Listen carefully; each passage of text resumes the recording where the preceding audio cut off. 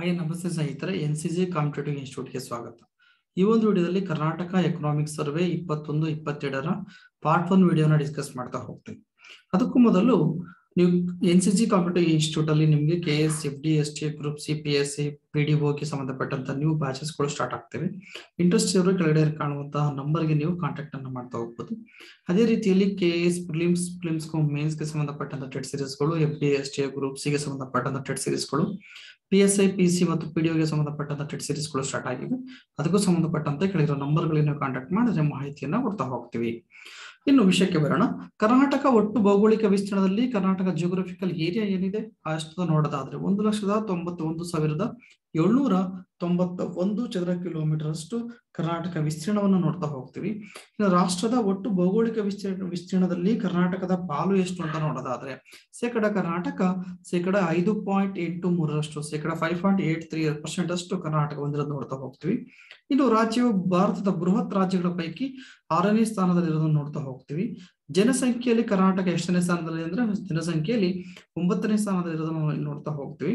ಎರಡ್ ಸಾವಿರದ ಹನ್ನೊಂದರ ಜನಗಣತಿ ಪ್ರಕಾರ ರಾಷ್ಟ್ರದ ಒಟ್ಟು ಜನಸಂಖ್ಯೆಯ ಶೇಕಡ ಐದು ಪಾಯಿಂಟ್ ಝೀರೋ ಐದರಷ್ಟು ಇರೋದು ನೋಡ್ತಾ ಹೋಗ್ತಾರೆ ರಾಷ್ಟ್ರ ಜನಸಂಖ್ಯೆಯಲ್ಲಿ ಕರ್ನಾಟಕದ ಪಾಲು ಎಷ್ಟು ಅಂತ ಹೇಳಿದ್ರೆ ಫೈವ್ ಪಾಯಿಂಟ್ ಜೀರೋ ಫೈವ್ ರಷ್ಟು ಇರೋದು ನೋಡ್ತಾ ಹೋಗ್ತೀವಿ. ಅದೇ ರೀತಿಯಲ್ಲಿ ಈ ಕಳೆದ ದಶಕದಲ್ಲಿ, ಕಳೆದ ಹತ್ತು ವರ್ಷಗಳಲ್ಲಿ ನಗರೀಕರಣದ ಶೇಕಡ ಎಷ್ಟು ಹೆಚ್ಚಳವಾಗಿದೆ ಅಂತ ಕೇಳೋದಾದ್ರೆ, ಶೇಕಡ ನಾಲ್ಕು ಪಾಯಿಂಟ್ ಆರು ಎಂಟರಷ್ಟು ನಗರೀಕರಣ ಅಥವಾ ಅರ್ಬನೈಸೇಷನ್ ಎಷ್ಟು ಪರ್ಸೆಂಟೇಜ್ ಅಲ್ಲಿ ಇನ್ಕ್ರೀಸ್ ಆಗಿದೆ ಲಾಸ್ಟ್ಗೆ ಸಂಬಂಧಪಟ್ಟಂತೆ ಲಾಸ್ಟ್ ಒಂದು ಕಳೆದ ದಶಕದಲ್ಲಿ ಅಂತ ನೋಡೋದಾದ್ರೆ, ಶೇಕಡ ನಾಲ್ಕು ಪಾಯಿಂಟ್ ಆರು ಎಂಟರಷ್ಟು ಹೆಚ್ಚಳವಾಗಿದೆ. ನಗರೀಕರಣ ಸಂಖ್ಯೆ ಭಾರತ, ಕರ್ನಾಟಕದಲ್ಲಿ ಹೆಚ್ಚಾಗಿರೋದನ್ನ ಕಾಣ್ತಾ ಹೋಗ್ತೀವಿ. ಇನ್ನು ಎರಡ್ ಸಾವಿರದ ಹನ್ನೊಂದರ ಜನಗಣತಿ ಪ್ರಕಾರ, ಆ ಸೆನ್ಸಸ್ ಪ್ರಕಾರ ಕರ್ನಾಟಕದಲ್ಲಿ ಗ್ರಾಮೀಣ ನಿವಾಸಿಗಳ ಸಂಖ್ಯೆ ಎಷ್ಟೇ ಅಂತ ಹೇಳಿದ್ರೆ ಶೇಕಡ ಅರವತ್ತ ಒಂದು ಪಾಯಿಂಟ್ ಮೂರು ಮೂರರಷ್ಟು. ನಗರ ನಿವಾಸಿಗಳು ಮೂವತ್ತ ಎಂಟು ಪಾಯಿಂಟ್ ಅರವತ್ತ ಏಳು ಆರು ಏಳರಷ್ಟು. ಅಂದ್ರೆ ನಗರಗಳಲ್ಲಿ ವಾಸ ಮಾಡುವ ಸಂಖ್ಯೆ ಮೂವತ್ತೆಂಟು ಪಾಯಿಂಟ್ ಅರವತ್ತೇಳು, ಎರಡ್ ಸಾವಿರದ ಹನ್ನೊಂದರ ಡೇಟಾ ಪ್ರಕಾರ. ಅದೇ ರೀತಿಯಲ್ಲಿ ಎರಡ್ ಸಾವಿರದ ಹನ್ನೊಂದರ ಜನಗಣತಿ ಪ್ರಕಾರ ನಗರಗಳಲ್ಲಿ ಮತ್ತು ಗ್ರಾಮೀಣ ಭಾಗದಲ್ಲಿ ಅಂತ ಹೇಳಿದ್ರೆ ಗ್ರಾಮೀಣ ಭಾಗದಲ್ಲಿ ಅರವತ್ತ ಒಂದು ಪಾಯಿಂಟ್ ಮೂರು ಮೂರು ರಷ್ಟು ನಿವಾಸಿಗಳು ವಾಸ ಮಾಡೋದನ್ನ ಗ್ರಾಮೀಣ ಭಾಗದಲ್ಲಿ ನೋಡ್ತಾ ಹೋಗ್ತೀವಿ. ಅಂದ್ರೆ ಕರ್ನಾಟಕದಲ್ಲಿ ನಗರ ನಿವಾಸಿಗಳಿಂದ ಸಂಖ್ಯೆ ಗ್ರಾಮೀಣ ಭಾಗದಲ್ಲಿ ಹೆಚ್ಚಿರೋದನ್ನ ಕಾಣ್ತಾ ಹೋಗ್ತೀವಿ. ಇನ್ನು ರಾಷ್ಟ್ರೀಯ ಹಾಗೂ ರಾಜ್ಯ ಆಂತರಿಕ ಉತ್ಪನ್ನಗಳ ಹೋಲಿಕೆಯನ್ನು ಮಾಡಿ ನೋಡದ ನೋಡ್ತಾ ಹೋಗೋಣ. ಅದರಲ್ಲೂ ಕೂಡ ಬೇಸ್ ಇಯರ್ ಪ್ರೈಸ್ ಅಡಿಯಲ್ಲಿ. ಬೇಸ್ ಇಯರ್ ಯಾವಾಗ? ಎರಡ್ ಸಾವಿರದ ಹನ್ನೊಂದು, ಹನ್ನೆರಡರ ಸ್ಥಿರ ಬೆಳೆಗಳಲ್ಲಿ ನೋಡೋದಾದ್ರೆ, ರಾಜ್ಯದ ಮತ್ತು ರಾಷ್ಟ್ರದ ಜಿ ಡಿ ಪಿಯನ್ನು ನೋಡೋದಾದ್ರೆ ಜಿ ಎಸ್ ಟಿ ಪಿ ಸ್ಟೇಟ್ಗೆ ರಾಜ್ಯದಲ್ಲಿ ಬಂದಾಗ ಎರಡ್ ಸಾವಿರದ ಇಪ್ಪತ್ತು, ಇಪ್ಪತ್ತೊಂದರಲ್ಲಿ ಮೈನಸ್ ಜೀರೋ ಪಾಯಿಂಟ್ ಫೈವ್ ರಷ್ಟಿರೋದು ನೋಡ್ತಾ ಹೋಗ್ತೀವಿ. ಅದೇ ರೀತಿಯಲ್ಲಿ ರಾಷ್ಟ್ರದಲ್ಲಿ ಬಂದಾಗ ಮೈನಸ್ ಸಿಕ್ಸ್ ಪಾಯಿಂಟ್ ಸಿಕ್ಸ್ ಇಷ್ಟಿರೋದನ್ನ ನೋಡ್ತಾ ಹೋಗ್ತೀವಿ. ಎರಡ್ ಸಾವಿರದ ಇಪ್ಪತ್ತೊಂದು, ಇಪ್ಪತ್ತೆರಡರಲ್ಲಿ ಶೇಕಡ ಒಂಬತ್ತು ಪಾಯಿಂಟ್ ಐದರಷ್ಟು ಇನ್ನು ರಾಷ್ಟ್ರದಲ್ಲಿ ಒಂಬತ್ತು ಪಾಯಿಂಟ್ ಏಳರಷ್ಟು ನೋಡ್ತಾ ಹೋಗ್ತೀವಿ. ಹಾಗೆ ಕರ್ನಾಟಕದ ಜಿ ಎಸ್ ಟಿ ಪಿ ರಾಷ್ಟ್ರದ G D G S T G D ಪಿಗಿಂತ ಹೆಚ್ಚಿರೋದನ್ನ ಇಲ್ಲಿ ನಾವು ಕಾಣ್ತಾ ಹೋಗ್ಬೋದು. ಇದನ್ನ ಸ್ಟೇಟ್ಮೆಂಟ್ ವೈಸ್ ಕ್ವಶನ್ಸ್ ಕೂಡ ನಿಮಗೆ ಹಾಕ್ಬೋದು. ನೆಕ್ಸ್ಟ್ ನೋಡೋದಾದ್ರೆ, ಪ್ರಸಕ್ತ ಬೆಲೆಗಳಲ್ಲಿ ಅಥವಾ ಮಾರ್ಕೆಟ್ ಪ್ರೈಸ್ ಅಲ್ಲಿ ನೋಡೋದಾದ್ರೆ ಎರಡ್ ಸಾವಿರದ ಇಪ್ಪತ್ತೊಂದು, ಇಪ್ಪತ್ತು, ಇಪ್ಪತ್ತೊಂದರಲ್ಲಿ ಜಿ ಎಸ್ ಟಿ ಪಿ ನೋಡೋದಾದ್ರೆ ಶೇಕಡ ಏಳು ಪಾಯಿಂಟ್ ಏಳರಷ್ಟಿತ್ತು ರಾಷ್ಟ್ರದಲ್ಲಿ ಅಥವಾ ರಾಷ್ಟ್ರೀಯವಾಗಿ ಜಿ ರಾಷ್ಟ್ರೀಯ ಜಿ ಡಿ ಪಿ ಎಷ್ಟು ಅಂತ ನೋಡೋದಾದ್ರೆ ಮೈನಸ್ ಒನ್ ಪಾಯಿಂಟ್ ಫೋರ್ ಅಷ್ಟು. ನೆಕ್ಸ್ಟ್ ಇಪ್ಪತ್ತೊಂದು, ಇಪ್ಪತ್ತೆರಡರಲ್ಲಿ ಅಟ್ ಪ್ರೆಸೆಂಟ್ ಇದನ್ನು ನೋಡಿದ್ರೆ ಮಾರ್ಕೆಟ್ ಪ್ರೈಸ್ ಅಲ್ಲಿ ಅಥವಾ ಪ್ರಸಕ್ತ ಬೆಲೆಗಳಲ್ಲಿ ನೋಡೋದಾದ್ರೆ, ಶೇಕಡ ಹದಿನೆಂಟು ಪಾಯಿಂಟ್ ನಾಲ್ಕರಷ್ಟು, ರಾಷ್ಟ್ರದಲ್ಲಿ ನೋಡೋದಾದ್ರೆ ಹದಿನೇಳು ಹದಿನೇಳು ಪಾಯಿಂಟ್ ಆರರಷ್ಟು. ಅಂದ್ರೆ ರಾಷ್ಟ್ರೀಯ ಜಿ ಜಿ ಡಿ ಪಿಗಿಂತ ರಾಷ್ಟ್ರ G G S T P ಏನಿದೆ, ಹೆಚ್ಚಾಗಿರೋದನ್ನ ನೋಡ್ತಾ ಹೋಗ್ತಿದ್ರೆ ಸ್ಟೇಟ್ಮೆಂಟ್ ವೈಸ್ ಕ್ವಶನ್ಸ್ ಕೊಟ್ಟರೆ ನೀವು ಆನ್ಸರ್ ಮಾಡ್ಲಿಕ್ಕೆ ಹೆಲ್ಪ್ ಆಗ್ತಾ ಬರುತ್ತೆ. ಇನ್ನು, ರಾಜ್ಯ ನಿವ್ವಳ ಆಂತರಿಕ ಉತ್ಪನ್ನದ ವಲಯವಾರು ಬೆಳವಣಿಗೆ ದರವನ್ನು ನಾವು ನೋಡೋದಾದ್ರೆ ಇಯರ್ ವೈಸ್ ಗ್ರೋತ್ ರೇಟ್ ನೋಡಿದ್ರೆ ಎನ್ ಡಿ ಪಿಗೆ ಸಂಬಂಧಪಟ್ಟಂತೆ. ಪ್ರಸಕ್ತ ಬೆಲೆಗಳಲ್ಲಿ ಬಂದಾಗ, ಅಂತಂದ್ರೆ ಮಾರ್ಕೆಟ್ ಪ್ರೈಸ್ ಏನಿದೆ ಇಪ್ಪತ್ತೊಂದು, ಇಪ್ಪತ್ತೆರಡು ನೋಡಿದಾಗ ಅಗ್ರಿಕಲ್ಚರ್ ಲಾಸ್ಟ್ ಗಿಂತ ಕೂಡ ಫೋರ್ಟೀನ್ ಪಾಯಿಂಟ್ ಸಿಕ್ಸ್ ಪರ್ಸೆಂಟ್ ಇರೋದನ್ನ ನೋಡ್ತಾ ಹೋಗ್ತೀವಿ. ಕೈಗಾರಿಕೆಗಳು ಇಂಡಸ್ಟ್ರೀಸ್ಗಳು ಏಟೀನ್ ಪಾಯಿಂಟ್ ನೈನ್ ಪರ್ಸೆಂಟ್ ಇರೋದನ್ನ ನೋಡ್ತಾ ಹೋಗ್ತೀವಿ. ಸೇವಾ ವಲಯಗಳು ರಾಷ್ಟ್ರೀಯಕ್ಕಿಂತ ಕೂಡ ಹದಿನಾರು ಪಾಯಿಂಟ್ ಎರಡರಷ್ಟು ಹೆಚ್ಚಳವಾಗಿರೋದನ್ನ ನೋಡ್ತಾ ಹೋಗ್ತೀವಿ. ನೆಕ್ಸ್ಟ್ ರಾಜ್ಯದ ಒಟ್ಟು ಆಂತರಿಕ ಉತ್ಪನ್ನದ ವಲಯವಾರು ಕೊಡುಗೆಯನ್ನು ನೋಡ್ತಾ ಹೋಗೋಣ. Regional contribution of G D P so state G D ಪಿಗೆ ಜಿ ಎಸ್ ಟಿ ಪಿಗೆ ಎಷ್ಟು ವಲಯವಾರು ಕೊಡುಗೆಯನ್ನು ಕೊಡುತ್ತೇವೆ. ಸೊ ಇಲ್ಲಿ ಕೃಷಿ ಅಗ್ರಿಕಲ್ಚರ್ ಸಂಬಂಧಪಟ್ಟಂತೆ ಇಪ್ಪತ್ತು, ಇಪ್ಪತ್ತೊಂದರಲ್ಲಿ ಬಂದಾಗ ಅಗ್ರಿಕಲ್ಚರ್ ಇಂದ ಫೋರ್ಟೀನ್ ಪಾಯಿಂಟ್ ತ್ರೀ ಪರ್ಸೆಂಟ್ ಅಷ್ಟು ಕೊಡುಗೆಯನ್ನು ಕೊಟ್ಟಿತ್ತು. ಅಗ್ರಿಕಲ್ಚರ್ ಕೃಷಿ, ಇವಾಗ ಅದಕ್ಕಿಂತ ಕಡಿಮೆ ಆಗಿದೆ. ಇಪ್ಪತ್ತೊಂದು, ಇಪ್ಪತ್ತೆರಡರಲ್ಲಿ ಹದಿನಾಲ್ಕು ಪಾಯಿಂಟ್ ಒಂದು ಸೊನ್ನೆಯಷ್ಟು ಅದು fourteen point one zero percent ಅಷ್ಟು. ಏನ ಲಾಸ್ಟ್ಗಿಂತನೂ ಕೂಡ ಆಕ್ಚುಲಿ ಏನಾಗಿದೆ? ಪಾಯಿಂಟ್ ಟೂ ಜೀರೋ ಅಷ್ಟು ಡಿಕ್ರೀಸ್ ಆಗಿರೋದನ್ನ ನಾವಿಲ್ಲಿ ನೋಡ್ತಾ ಹೋಗ್ತೀವಿ. ಅವನ ಎಕ್ಸಾಮ್ ಅಲ್ಲಿ ಕೇಳ್ಬೋದು. ಎಷ್ಟು ಪರ್ಸೆಂಟ್ ಅಷ್ಟು ಡಿಕ್ರೀಸ್ ಆಗಿದೆ? ಪಾಯಿಂಟ್ ಟೂ ಜೀರೋ ಪರ್ಸೆಂಟ್ ಅಷ್ಟು ಡಿಕ್ರೀಸ್ ಆಗಿದೆ ಅಗ್ರಿಕಲ್ಚರ್ ಕಾಂಟ್ರಿಬ್ಯೂಷನ್ ಇಂಡಸ್ಟ್ರೀಸ್ ನೋಡೋದಾದ್ರೆ ಲಾಸ್ಟ್ ಇಲ್ಲಿ ಬಂದಾಗ forty nineteen point four zero percent ಅಷ್ಟಿತ್ತು. ಈ ವರ್ಷದಲ್ಲಿ nineteen point eight zero percent ಅಷ್ಟಿದೆ ಅಂದ್ರೆ ಪಾಯಿಂಟ್ ಫೋರ್ ಫೋರ್ ಪರ್ಸೆಂಟ್ ಅಷ್ಟು ಇನ್ಕ್ರೀಸ್ ಆಗಿರೋದನ್ನ ಇಲ್ಲಿ ನೋಡ್ತಾ ಹೋಗ್ತೀವಿ. ಇನ್ನು ಸೇವಾ ವಲಯ. ಸೊ ಸೇವಲ್ ಸರ್ವಿಸ್ ಸೆಕ್ಟರ್ ಕೂಡ ಲಾಸ್ಟ್ ಇಯರ್ ಬಂದಾಗ ನಿಮಗೆ sixty six point three zero ಇತ್ತು. ಈ ವರ್ಷದಲ್ಲಿ ನಿಮಗೆ sixty six point one zero ಅಷ್ಟು ನೋಡ್ತಾ ಹೋಗ್ತೀವಿ. ಅಂತಂದ್ರೆ ಟ್ವೆಂಟಿ ಪರ್ಸೆಂಟ್ ಇಲ್ಲಿ ನೆಗೆಟಿವ್ ಇದೆ. Point point two zero percent ಅಷ್ಟು ನೆಗೆಟಿವ್ ಆಗಿರೋದನ್ನ ನಾವಿಲ್ಲಿ ನೋಡ್ತಾ ಹೋಗ್ತೀವಿ. ಕ್ಲಿಯರ್ ಈ ತರ ವೆರಿಫಿಕೇಶನ್ ವೇರಿಯೇಷನ್ ಇರೋದನ್ನು ಕೂಡ ಕೇಳ್ತಾ ಹೋಗ್ಬೋದು ಅಥವಾ ಅಗ್ರಿಕಲ್ಚರ್ ಅಲ್ಲಿ ಮತ್ತೆ ಕೈಗಾರಿಕೆಗಳು ಸೇವಳಿಗಳು ಹೇಗೆ ಕಾಂಟ್ರಿಬ್ಯೂಟ್ ಮಾಡ್ತಾ ಇವೆ ಅನ್ನೋದ್ರ ಬಗ್ಗೆನೂ ಕೂಡ ಕೇಳ್ತಾ ಹೋಗ್ಬೋದು. ನೆಕ್ಸ್ಟ್ ತಲಾವರಮಾನ ಪರ್ ಕ್ಯಾಪಿಟಲ್ ಇನ್ಕಮ್ ಈ ಪರ್ ಕ್ಯಾಪಿಟಲ್ ಇನ್ಕಮ್ನ ಸಾಮಾನ್ಯವಾಗಿ ಪ್ರಸಕ್ತ ಬೆಲೆಗಳಲ್ಲಿ ರಾಜ್ಯದ ನಿವ್ವಳ ಆಂತರಿಕ ಉತ್ಪನ್ನವನ್ನ ಆ ವಿತ್ತೀಯ ವರ್ಷ ಫೈನಾನ್ಸಿಯಲ್ ಇಯರ್ ಏನಿರ್ತಾ ಹೋಗುತ್ತೆ. ಆ ನಟ್ಟ ನಡುವೆಯಲ್ಲಿ ಇರುವಂತಹ ಜನಸಂಖ್ಯೆಯಿಂದ ಭಾಗಿಸಿ ನಾವೇನ್ ಮಾಡ್ತಾ ಹೋಗ್ತಾ ತಲಾ ಆದಾಯವನ್ನ ಪರ್ ಕ್ಯಾಪಿಟಲ್ ಇನ್ಕಮ್ ಅನ್ನ ನಾವು ಕ್ಯಾಲ್ಕುಲೇಟ್ ಮಾಡ್ತಾ ಹೋಗ್ತೀವಿ. ಅಂದ್ರೆ ಪ್ರತಿ ವರ್ಷ ಅಕ್ಟೋಬರ್ ಮಂತ್ ಮೊದಲನೇ ದಿನದಂದು ಬರುವಂತಹ ಏನಿರುತ್ತೆ ಆದಾಯ, ರಾಷ್ಟ್ರೀಯ ರಾಜ್ಯದ ಆದಾಯ, ಅದಕ್ಕೆ ನಾವೇನ್ ಮಾಡ್ತೀವಿ? ರಾಜ್ಯದ ಆ ದಿನಾಂಕದಲ್ಲಿರುವಂತಹ ಜನಸಂಖ್ಯೆಯಿಂದ ಭಾಗಿಸಿ ಈ ಒಂದು ತಲಾದಾಯವನ್ನ ಕಂಡಿತಾ ಹೋಗ್ತೀವಿ. ಆತರ ಕರ್ನಾಟಕ ತಲಾದಾಯ ಎಷ್ಟಿದೆ? ಇಪ್ಪತ್ತು, ಇಪ್ಪತ್ತೊಂದರಲ್ಲಿ ನೋಡೋದಾದ್ರೆ ಎರಡ್ ಸಾವಿರ ಎರಡು ಲಕ್ಷದ ಮೂವತ್ತಾರು ಸಾವಿರದ ನಾನೂರ ಐವತ್ತೊಂದು ರೂಪಾಯಿಗಳು ಇತ್ತು.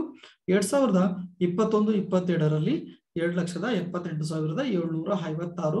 ರೂಪಾಯಿಗಳಷ್ಟು ತಲಾದಾಯ ಪ್ರಸಕ್ತ ಬೆಲೆಗಳಲ್ಲಿ ಅಥವಾ ಮಾರುಕಟ್ಟೆ ದರದಲ್ಲಿ ನೋಡೋದಾದ್ರೆ ಈ ವರ್ಷ ಪರ್ ಕ್ಯಾಪಿಟಲ್ ಇನ್ಕಮ್ ಎಷ್ಟಿದೆ? Two lakh seventy eight thousand seventy eight thousand seventy eight six ರುಪೀಸ್ಗಳಷ್ಟು ಹೊಂದಿರೋದು ನೋಡ್ತಾ ಹೋಗ್ತೀವಿ. ಅಂದ್ರೆ ಎರಡ್ ಸಾವಿರದ ಇಪ್ಪತ್ತು, ಇಪ್ಪತ್ತೊಂದರಿಗಿಂತ ಇಪ್ಪತ್ತೊಂದು, ಇಪ್ಪತ್ತೆರಡರಲ್ಲಿ ಪರ್ ಕ್ಯಾಪಿಟಲ್ ಇನ್ಕಮ್ ತಲಾದಾಯ ಏನಾಗಿದೆ ಹೆಚ್ಚಾಗಿರೋದನ್ನ ರಾಜ್ಯದಲ್ಲಿ ನೋಡ್ತಾ ಹೋಗ್ಬೋದು. ಇನ್ನು ಸ್ಥಿರ ಬೆಳೆಗಳಲ್ಲಿ ಬೇಸ್ ಇಯರ್ ನೋಡೋದಾದ್ರೆ ಎರಡ್ ಸಾವಿರದ ಹನ್ನೊಂದು, ಹನ್ನೆರಡಕ್ಕೆ ಸಂಬಂಧಪಟ್ಟಂತೆ ಬೇಸ್ ಇಯರ್ ನೋಡೋದಾದ್ರೆ ಎರಡ್ ಸಾವಿರದ ಇಪ್ಪತ್ತು, ಇಪ್ಪತ್ತೊಂದರಲ್ಲಿ ಬಂದಾಗ ಒಂದು ಲಕ್ಷದ ಐವತ್ನಾಲ್ಕು ಸಾವಿರದ ನೂರ ಇಪ್ಪತ್ಮೂರು ರೂಪಾಯಿಗಳಿತ್ತು ಇವಾಗ ಎರಡ್ ಸಾವಿರದ ಇಪ್ಪತ್ತು, ಇಪ್ಪತ್ತೊಂದು, ಇಪ್ಪತ್ತೆರಡರಲ್ಲಿ ರು ಒಂದು ಲಕ್ಷದ ಅರವತ್ತೆಂಟು ಸಾವಿರದ ಐವತ್ತು ರೂಪಾಯಿಗಳನ್ನ ಕಾಣ್ತಾ ಹೋಗ್ಬೋದು. ಅಂತಂದ್ರೆ ಇಪ್ಪತ್ತೊಂದು, ಇಪ್ಪತ್ತು, ಇಪ್ಪತ್ತೊಂದಕ್ಕಿಂತ ಇಪ್ಪತ್ತೊಂದು, ಇಪ್ಪತ್ತೆರಡರಲ್ಲಿ ಶೇಕಡ ಒಂಬತ್ತರಷ್ಟು ಇನ್ಕ್ರೀಸ್ ಆಗಿದೆ.